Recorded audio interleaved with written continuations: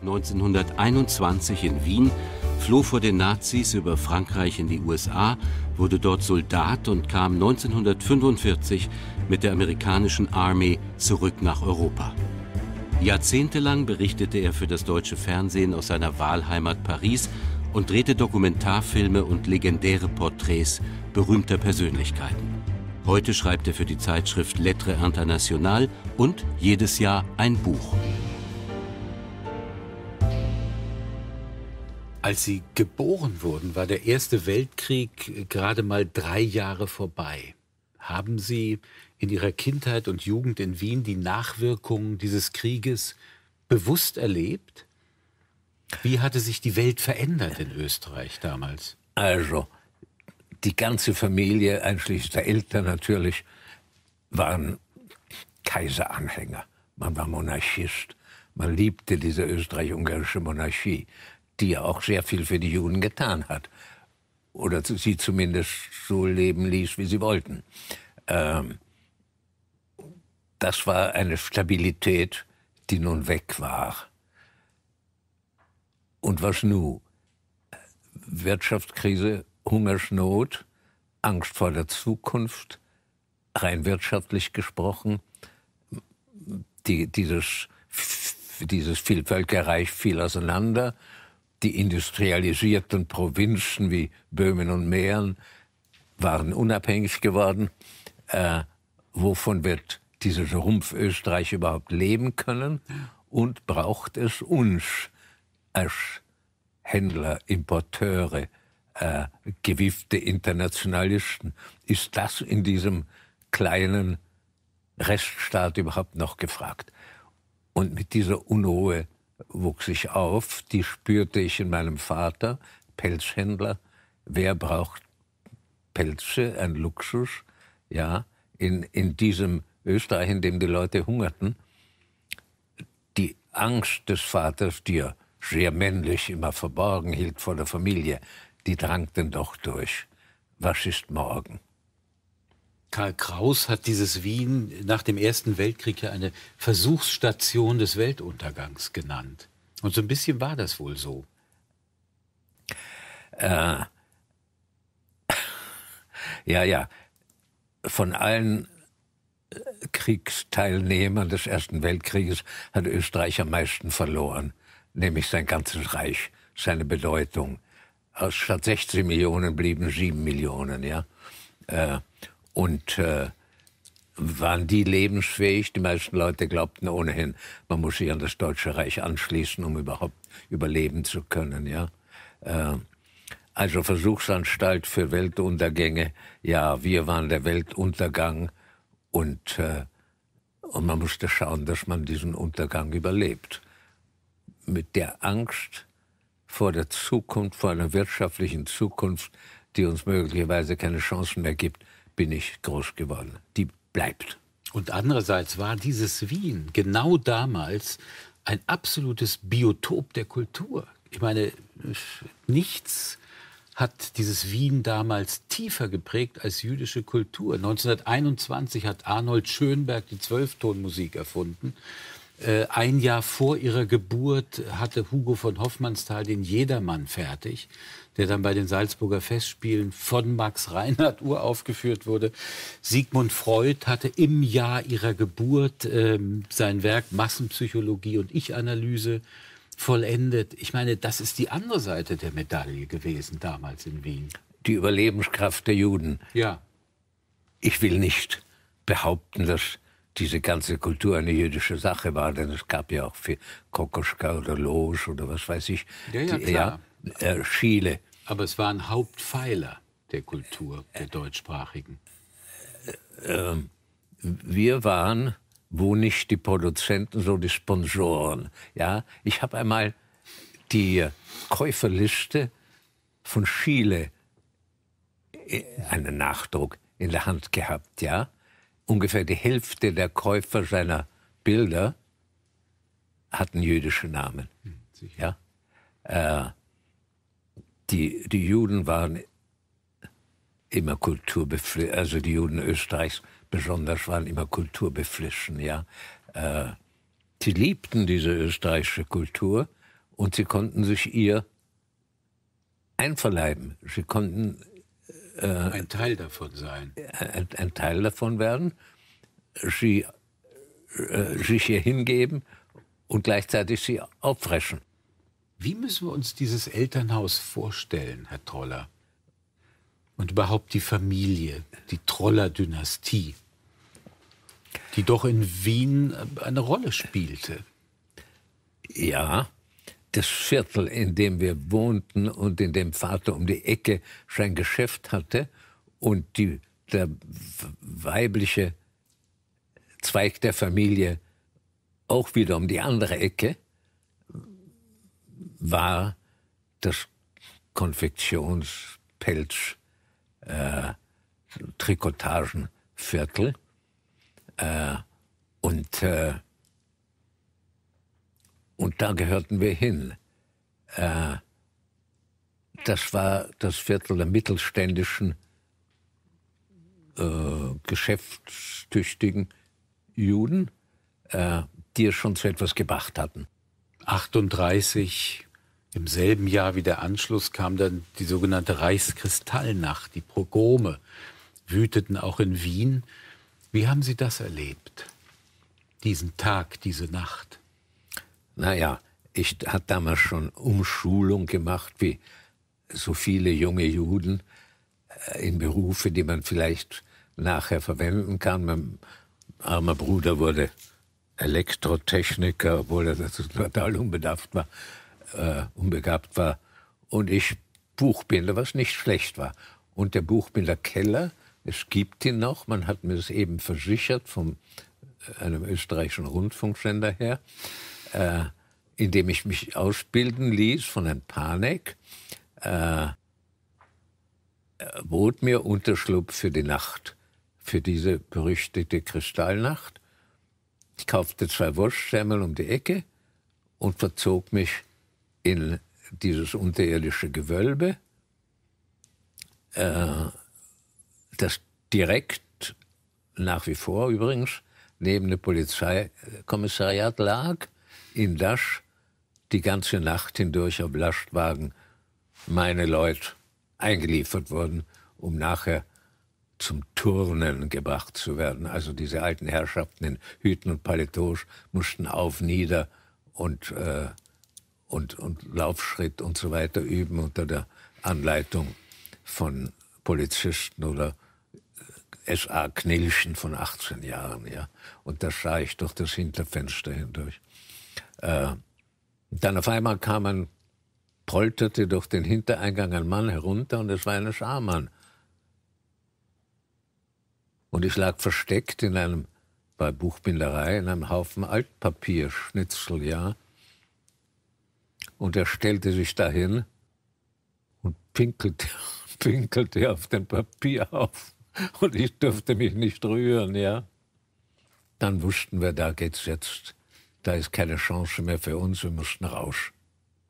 Wohin? Naja, Vater hat, Gott, oh Gott, liegt das alles weit zurück einen Freund, der war Ehrenkonsul von Uruguay. Ich wusste noch nicht einmal, wo Uruguay ist. Ich verwechselte es immer mit Uganda. Aber äh, wir bekamen ein gekauftes Visum nach Uruguay. Und mit diesem Visum konnte man durch Reisewiesen durch Italien und Frankreich bekommen. Ja? Mit diesem gefälschten Uruguay-Visum, das wir nie ausgenutzt haben, das aber in den Pasch hineingestempelt war. Und das hat uns dann wieder mal Vaters Tüchtigkeit und Beziehungen das Leben gerettet. Ja. Es war immer knapp. Sie kamen dann in Paris an und auch da waren dann bald die Deutschen. Durchlassschein der Gestapo ist ja hier irgendwo. Ja. Der hängt da so etwa versiegelter Waggon, so wie Lenin, wann war das, 1917 oder sowas, genau. aus der Schweiz in, nach Russland ja. geschafft wurde, ja. Äh, so wurden wir, ja, äh, Und man wusste nie, wann es heißen würde, alles aussteigen. Ja, äh, Pässe vorzeigen, Ausweispapiere und so weiter. Eine Sache, die mir noch jetzt in Angst und Schrecken versetzt. Mhm. Aber es wurde auch in Frankreich doch dann immer schwieriger. Ja, aber wir mussten natürlich in eine Hafenstadt, Boulogne-sur-Mer, übersiedeln von Paris aus mhm. und so tun, als würden wir auf diesen fliegenden Holländer warten, der ja nie kam. Äh, äh, tat uns furchtbar leid. Da, bitte erkundigen sich in Uruguay, warum da kein Schiff kommt. ja, äh, das war unsere, wieder mal unsere Überlebenschance. Äh, und als der Krieg ausbrach, wohnten wir eben an der Kanalküste. Und wurden von dort aus in diese Internierungslager geschafft. Wie ging das dazu? Naja, das war Haben nicht Sie da die Nerven verloren? Nein, natürlich das nicht. Das klingt alles so. Sie beschreiben das doch äh, sehr nüchtern. Hm? Ja, das war ja auch okay. War ja kein KZ, ja. Aber man wurde bewacht von einem Soldaten mhm. mit Gewehr. Stacheldraht mussten wir selber um unser Lager ziehen, mhm. weil keine Mannschaften vorhanden waren, das zu tun. Und äh, aber was denkt man sich da? Was denkt man sich, warum man da ist? Das, da kann ich mich so schwer reinversetzen. Naja, die ganze Welt ist verrückt geworden. Mhm. Ja? Wir waren doch die verlässlichsten Antinazis überhaupt. Wer konnte verlässlicher sein als die vertriebenen Juden? Ja? Und trotzdem, wir waren es, nicht etwa die Deutschen, äh, Staatsbürger, die da verhaftet wurden. Wir speziell, wir besonders, wir die jüdischen Flüchtlinge, wurden als allererstes da eingesperrt. Ja, und man war doch eine Demokratie, die die französische Revolution hinter sich gemacht hat. Ja, aber die Franzosen äh, haben ja, glaube ich, eine gewisse Schizophrenie in sich. Nicht? Einerseits gab es die französische Revolution, andererseits will jeder so ein bisschen Versailles in der Wohnung haben. Die Monarchie ist eigentlich nie abgeschafft worden. Das macht Franzosen auch so kompliziert, diese Spaltung. Nicht? Einerseits gegen Hitler, dann die Kollaboration, es war ja die, die, Angst vor. Das vor ist eine Schizophrenie. Die Angst vor dem Kommunismus war mindestens so stark wie die Angst vor Hitler, wenn nicht stärker. Ja, in, der Bourgeoisie. in der Bourgeoisie. Und dieses ja. katholische Land, natürlich genau. war das stärker. Genau. Und es war immer schon eine gewisse Affinität, fast eine Bewunderung vor diesem straffen Hitlerregime zu, zu einer bestimmten Zeit, glaube ich. Vorhanden Als dann die Deutschen einmarschierten im Mai 40, hieß es nicht nur ils sont korrekt, sie sind korrekt, sondern ils sont beaux, ah, ja. sie sind schön. Ja? Und es gab diese Empfindung der Franzosen, diese entsetzliche Empfindung der Franzosen, dass sie eigentlich die Frauen sind und die Nazis sind die Männer. Und ihre Aufgabe ist es, sich den Nazis hinzugeben. Das war das Furchtbarste. Mhm. Sie gingen aus diesem Lager, aus dem letzten Lager, in dem Sie waren, nach Marseille mit dem Ziel Amerika. Aber das wollten viele damals und es war inzwischen spät, fast zu spät, aus Europa zu entkommen. Wie haben Sie es trotzdem geschafft? Mein Vater. Wieder der Vater. Die Franzosen haben ja nicht nur haben die Amerikaner, sondern auch die Franzosen einem Hindernis in den Weg gelegt. Es gab ein Ausreisevisum. Wozu? Die waren doch froh, uns loszuwerden, ja? Nein, Ausreisevisum. Es gab einen Stempel vom Hafenamt in Marseille. Stempel vom Hafenamt. Was bedeutete das denn? Und dann amerikanische Botschaft, lange Schlangen.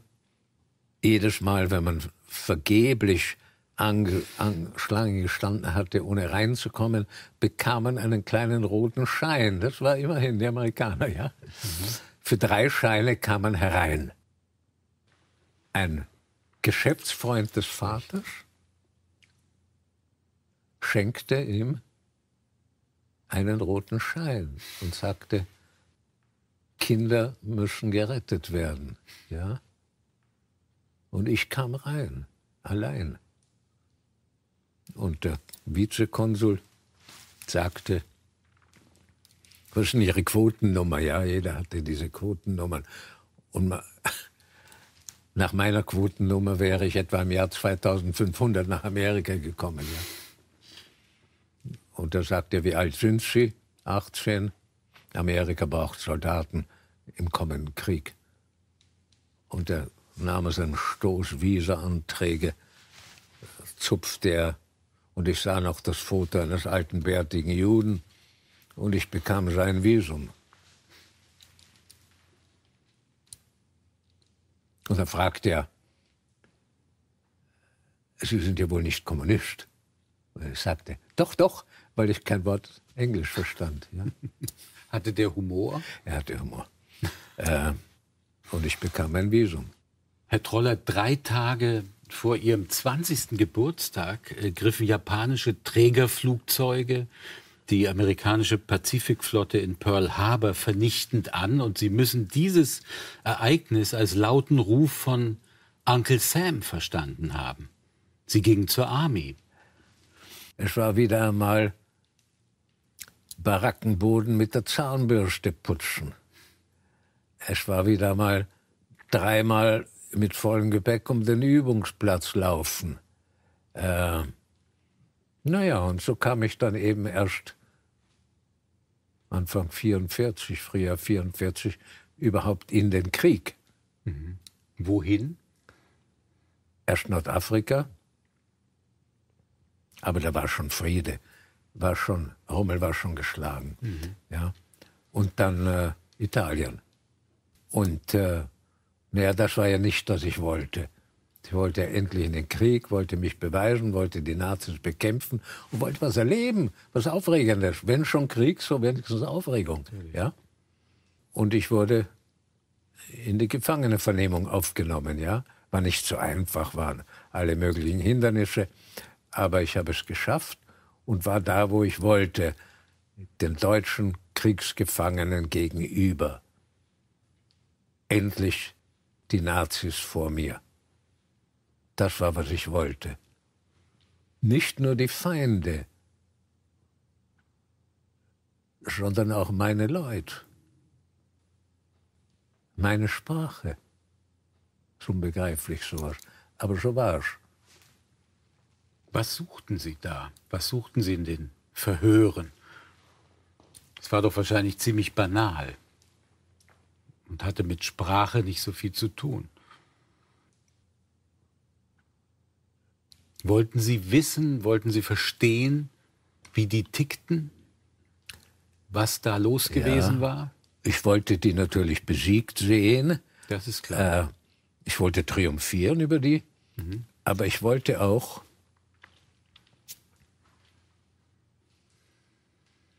ein Teil dieser ganz eigentümlichen Kameradschaftlichkeit zwischen Gefangenen und Bewachern werden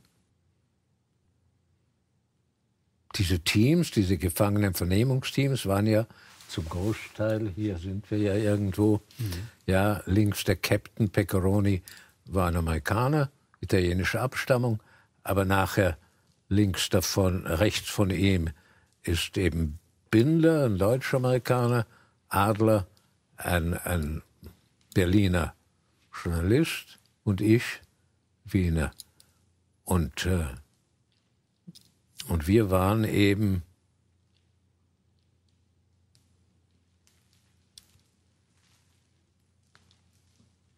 das waren irgendwie auch uns vertraute Figuren, diese Gefangenen.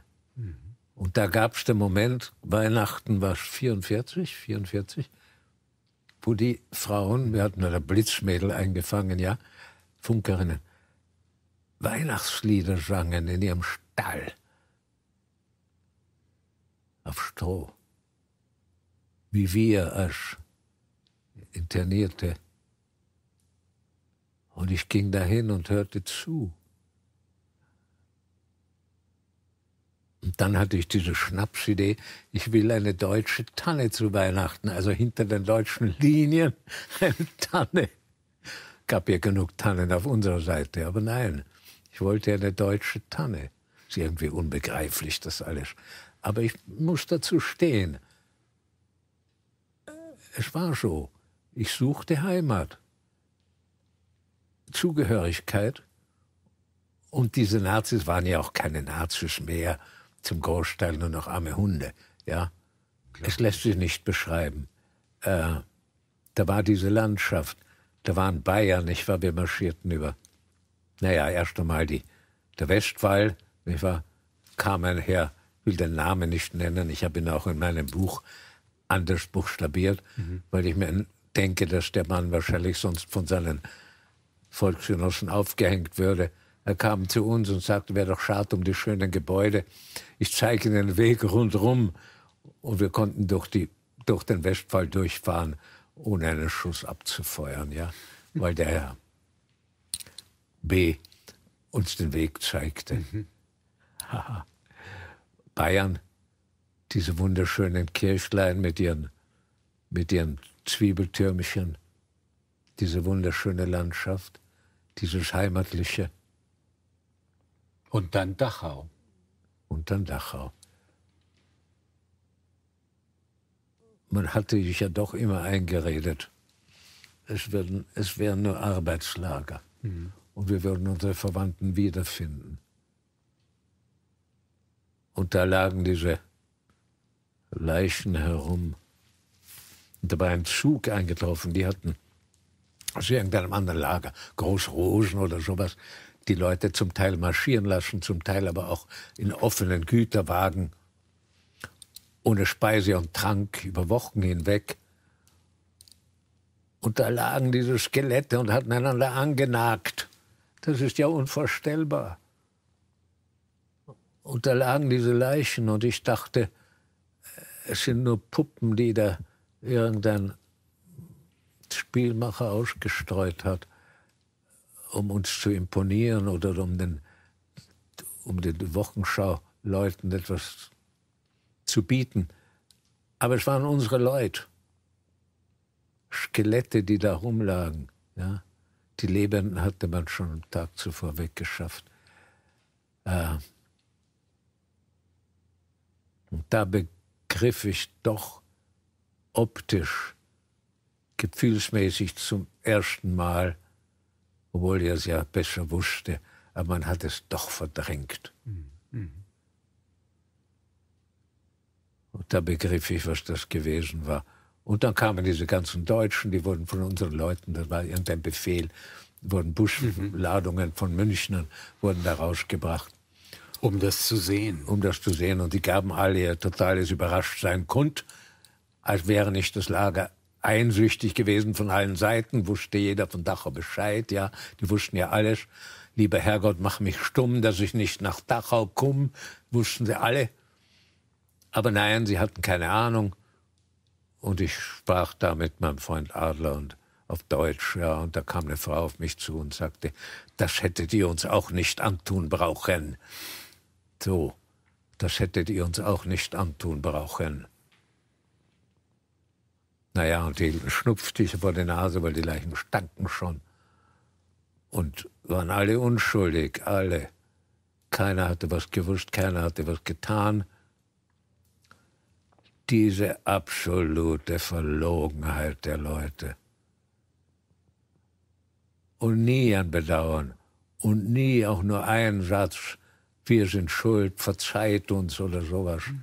Es hat Jahrzehnte gedauert, bis die überhaupt begannen zu begreifen, was sie getan hatten, als Mitschuldige oder als Mitwischer oder als willige Mitwischer. Ja.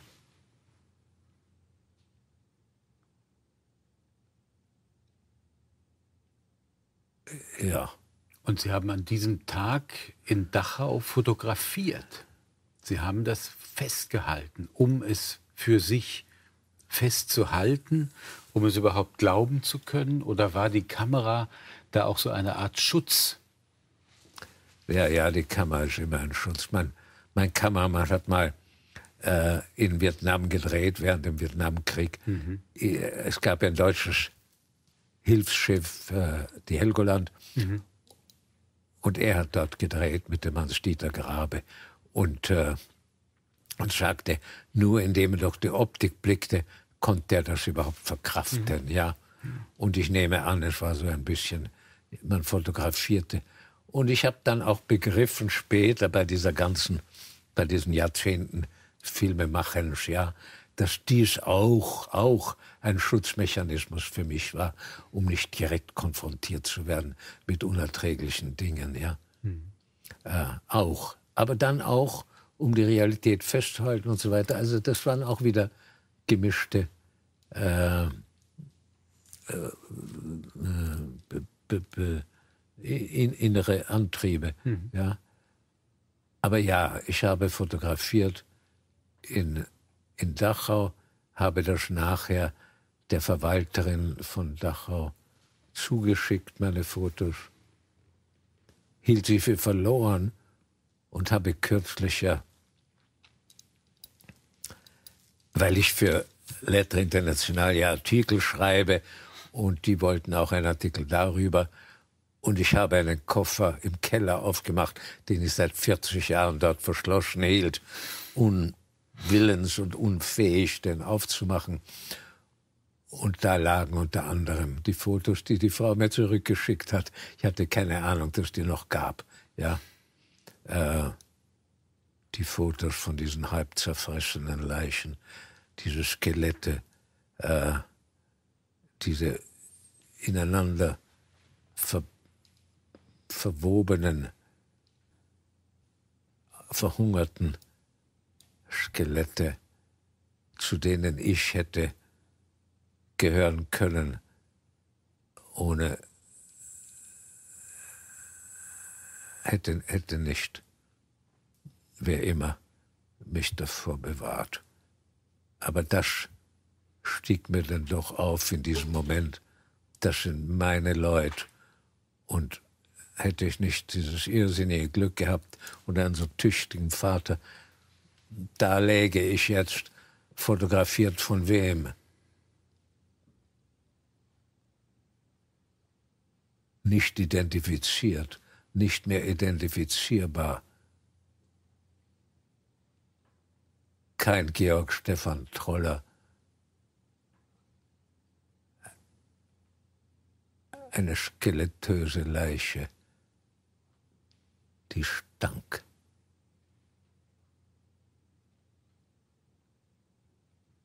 Ja,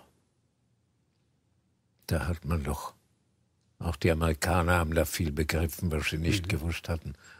Und, und ich auch. Äh,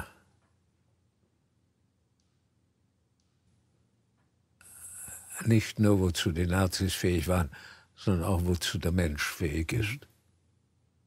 Und die Erkenntnis, dass der Lack auf einer Zivilisation sehr dünn ist in der Regel.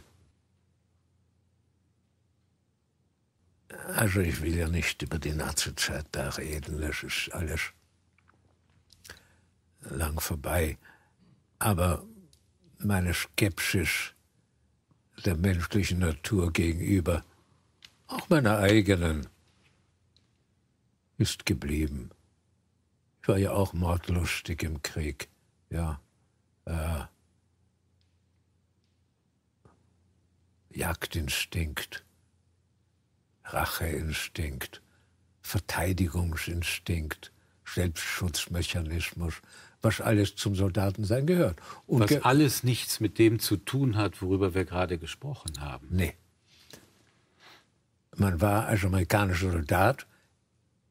Endlich gab es eine Art Zugehörigkeit im Krieg, nicht vorher in der Ausbildung, ja. aber im Krieg. Man war GI. Keiner wusste, wer man war oder was man was Spezielles war oder so. Man war ein GI wie andere. Mhm. Und diese Zugehörigkeit, das mochte ich. Ja? Mhm. Äh, ich habe letztlich diesen Krieg geliebt. Er war mein Krieg. Ich gehörte zu ihm. Ich war berechtigt, so zu sein, wie ich war.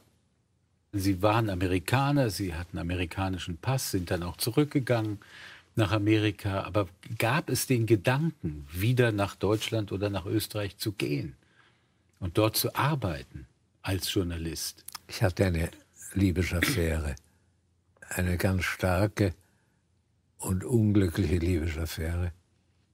Und es war besser, ich ging. Und ich ging. Ging zurück. Es war auch irgendwie selbstverständlich, dass man, wenn man demobilisiert wurde, ja. dass man zurückging. Amis blieben nicht, hm. zum Großteil jedenfalls nicht in Europa. Ja? Äh, ich hatte ein Jahr als Besatzer, hm. immerhin. Bis wann? Bis Frühjahr 46. München hauptsächlich. War interessant. Unter anderem ein SS-Lager, wo also SSler interniert wurden. Und da standen sie nun alle, unrasiert, verkommen, verhungert, am Stacheldrahtzaun und schauen aus wie wir in der Internierung. Hat mich sehr frappiert. Frappiert oder war das ein, auch ein Moment der Genugtuung? Auch wieder ein Moment der Erkenntnis, was ist der Mensch oder irgend sowas. Mhm. Ja. Äh, Sie sagen Erkenntnis und nicht Genugtuung. Ja, das sage ich ja. Mhm. Genugtuung. Habe ich das empfunden? Ich, es ist schwer, sich zurückzuversetzen, so viele mhm. Jahre. Irgendwie doch, natürlich, war wunderbar. Ich war der Ami. Ich bezog meine mhm. Zigaretten und mhm. meine Delikatessen aus dem PX, unserem Kaufladen, ja. ja. Man hatte Besatzungsgeld, genau wie die Nazis in Frankreich, ganz kleine Geldscheinchen, mit denen man zahlte, mit denen das Land natürlich ausgebeutet wurde von uns, genau wie die Nazis es gemacht hatten. Ähm, aber es ging uns gut. Ja, und man war überlegen, man war jemand, man war in Uniform, man war doch jemand, ja. Aber in Deutschland war ja doch keine Heimat, ja. Obwohl Bayerisch war ja auch nicht so viel anders als Österreich. Aber es war nicht meine Heimat. München sehr schön, ich bin auch immer gern da. Aber es war doch nicht meine Stadt. Äh, war Scheusch. Also zurück nach Amerika. Zurück nach Amerika, per Truppentransport, ausgeladen, Abschiedszeugnis von der Armee, äh, Begrüßung durch die Eltern und der Drang wegzukommen. Weg.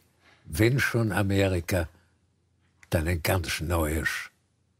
Und da stand ich auf nach Kalifornien. Mhm.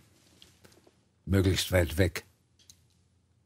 In ein Land, das mich nicht einstufen kann. Mhm. Kalifornien. Der amerikanische Traum, Ihr amerikanischer Traum. Damals. Freiheit, Zugehörigkeit, doch irgendwie in diese wetterlose, bewusstlose Insel der seligen Südkalifornien. Ja. Aber als Sie das durch hatten und Sie haben noch ganz andere Teile von Amerika äh, durchforstet. Habe ich ja gesehen. Aber haben Sie gesehen, als, haben Sie beschrieben, Tramper. aber es reichte nicht. Sie wollten nach Europa. Nach einigen Jahren, ja. Äh,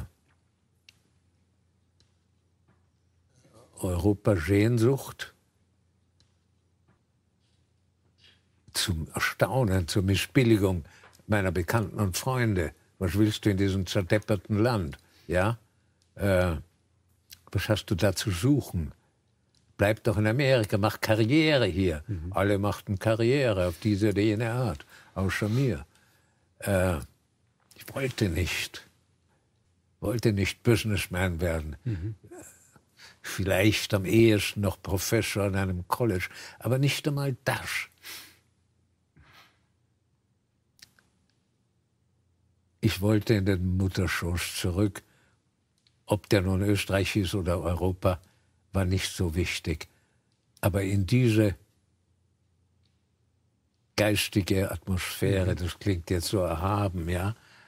Äh, Nein, da findet man eben das, was man sucht, was in einem ist. Das hat auch wieder was mit Zugehörigkeit zu tun, natürlich. Man sucht das, was in einem ist, um Anschluss zu finden ja. für seine inneren Bedürfnisse. Ja, ja. Und ja, das war Europa. Wollte nicht Österreicher, wieder Österreicher werden, war zufrieden, Amerikaner zu sein. Mhm. Amerikaner in Österreich mit Wurzeln in Österreich. Also dieses Verwurzeltsein wollte man, ja. aber die Zweige und die Blätter und die Blüten nicht. Auch ja. wieder eine eigentümliche Situation. Ja, aber nur Wurzeln reichen nicht. Ne? Das nur Wurzeln reicht nicht. Und das habe ich dann auch begriffen und bin dann weggegangen. Ging halt nach Paris. Ich meine, eine nicht unbizarre Situation, dass Sie als Wiener Jude mit amerikanischem Pass den Deutschen Paris erklären sollten. Ja? Zunächst im Radio, dann im Fernsehen. Denn Sie waren erst Reporter für den Südwestfunk im Radio und dann kam irgendwann das Fernsehen. Eroberung eines Publikums. Mhm geliebt werden, mhm. bewundert werden. Von Deutschen geliebt und bewundert ja, werden. Von War Deutschen, das wichtig? Äh, Zugehörigkeitsgefühl. Mhm. Schnitt fand damals in Deutschland statt. Äh, Baden-Baden, nachher war es Köln. Ja, der, Paris wurde vom WDR übernommen und ich wurde Mitglied, des, also freier Mitarbeiter des WDR. Mhm. Ja, und die Sendung hieß Pariser Journal und war ein Hit im damaligen Programm. Wen haben Sie in Paris damals getroffen? Was war das für eine Zeit? Wen haben Sie vor die Kamera gekriegt? Alle Chansonsänger, alle Modemacher, alle großen Filmregisseure, zum Teil Politiker, äh, bis hin zu Adenauer, wenn er zu Besuch kam, eigentlich alles, mit Ausnahme Picasso und eines anständigen Interviews mit Brigitte Bardot, äh, habe ich alles gemacht, was da war. Also von Edith Piaf bis durchreisenden Orson Welles, Audrey Hepburn, Henry Miller, Ezra Pound. Alain Delon, Rome Schneider, äh, Rome unfähig, sich gehen zu lassen aus dem Kino, aus dem Film, ja, bat uns um Alkohol vorher, sie ein bisschen betrunken machen, damit sie reden kann, ja. Äh, war ergreifend, war charmant. Serge Gainsbourg, der eine ähnliche Jugend hatte wie ich, als hässlicher, ausgestoßener Jude in, in, in der Verborgenheit leben, in Frankreich mhm. im Krieg, ja. Serge Gainsbourg. Und daraus diese tolle Frechheit dem Leben gegenüber, diese Unverschämtheit entwickelt hat, vor der Kamera einen 500-Franc-Schein zu zerfetzen, sich damit die Zigarette anzuzünden, ja, nur um zu zeigen, es geht mir nicht darum, ja. Charles Bukowski fand ich einen tollen Film. Ja. Bukowski lebte seine letzten Lebensmonate oder Jahre. Ja, das war kurz vor seinem Tod, wie Sie ihn interviewt haben. Während ja. seine Freundin ja. Lindler oder Frau mhm. da saß und missbilligte, dass er unaufhörlich davon redete, dass er sein Leben gelebt hat und jetzt ja. auch sterben kann. Und sie wollte, dass er weiterlebt, ja. Und er beschrieb für uns, was das bedeutet, zu sterben. Ja. Ja, toll. Große war, Literatur vor der Kamera war das damals. Das zeigt, dass die Grenzen ja auch verschwimmen zwischen Wort und Bild. Ja, so was bei Ihnen ohnehin immer der Fall war. Kameramann ganz toll gearbeitet, ja. ja. Aber das war eine völlig überraschende mhm. Situation. Ich wusste gar nicht, dass es da so kommt. Ich erwartete seine üblichen Frechheiten, ja, mhm. äh, und Anzüglichkeiten. Aber nein, er kam auf einmal mhm. damit, was das bedeutet, ein, ein, ein ausgelebtes Leben. Ach, Rush Meyer, der Schex-Filmer, war nicht glücklich mit dem Film. Sich, irgendwelche deutschen Filmkritiker hatten ihn über, überzeugt, dass er der größte Filmemacher aller Zeiten wäre. Das war er ja nicht, ja. Und wenn, so nur in seiner Jugend, später dann nicht mehr. Dann hat er sich selber kopiert. Äh, das durfte man ihm ja nicht sagen. Also er liebte seinen Film nicht. Aber wir fanden den lustig, mhm. ja. Ocean Welsh der die ganze Dreharbeit für uns übernommen hat, ja. Seinen Film, er drehte gerade einen Prozess von Kafka, ja, in Paris. Äh, aber er interessierte sich auf einmal wahnsinnig, wie denn dieses Interview gedreht werden würde. Und er machte für uns die Ausleuchtung und den Schnitt und alles, ja. War, war toll.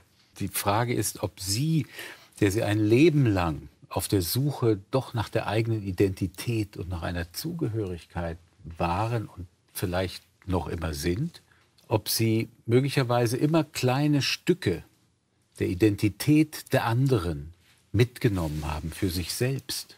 Ja, ja. Äh, das war. Ist das ein, ein Puzzle in Ihnen, das aus vielen kleinen Stücken der Identität anderer auch besteht? Es war mein geheimes Anliegen, das natürlich niemandem und schon gar nicht den Sendern gegenüber je zur Sprache kommen durfte, ja. Kommt das Verständnis für die Wunden anderer, denn Sie haben ja sehr oft Menschen mit großen Brüchen porträtiert. Kommt das Verständnis für die Wunden anderer aus den eigenen Wunden vor allem?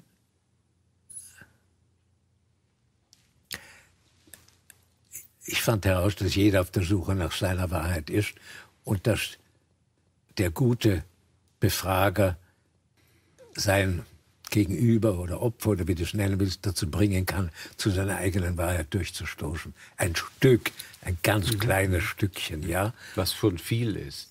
Und darauf konnte ich bauen, mhm. ja.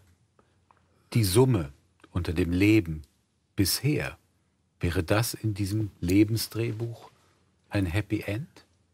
Das wäre noch das Beste, wenn man da umfällt und weg ist, ja.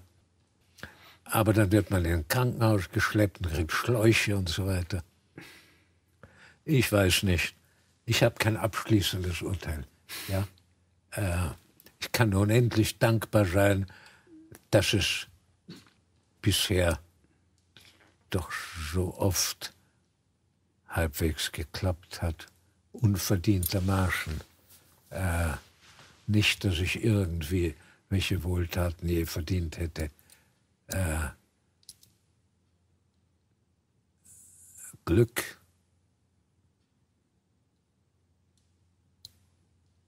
Glück. Ja. Noch am ehesten. Ich kann mir nicht, kann mir keine Verdienste zurechnen. Aber ich denke mir doch, vielleicht habe ich doch allerhand Leuten irgendwie auch Glück, eine Art Beglückung gebracht. Das ist doch eine tolle Sache. Und weitaus mehr, als mir je hätte vorstellen können. Ja? Dass das passiert ist, unverdientermaßen oder halbverdientermaßen, äh, dafür kann ich doch nur unendlich dankbar sein. Ihr Publikum kann dankbar sein. Ich bin dankbar für dieses Gespräch. Ja. Danke Ihnen.